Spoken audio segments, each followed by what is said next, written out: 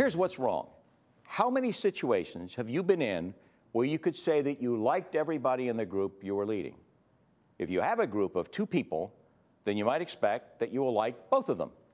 However, most of us are charged with the responsibility of leading a larger group. If you're a sales manager and you take over a sales force of 10, the odds of not liking at least one person in that group are much greater.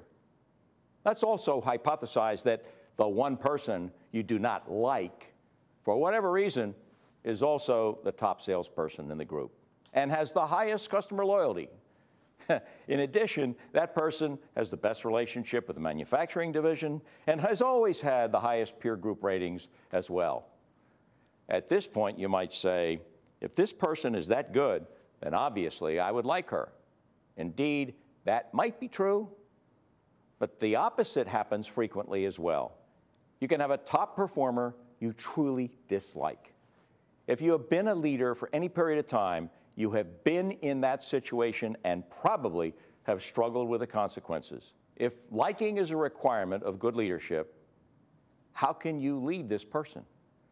By that definition, you cannot. So, what do you do? Your dislike usually becomes a barrier to communications. If you do not like a person, it is very difficult to hide your dislike. The other person will sense how you feel and begin to react negatively to you as well. Slowly, you begin to distance yourself from each other in an effort to avoid the undesirable contact. Worse still, you will invariably become overly critical of the person. Eventually, these tensions will result in either termination or transfer of the subordinate. Bias wins every time.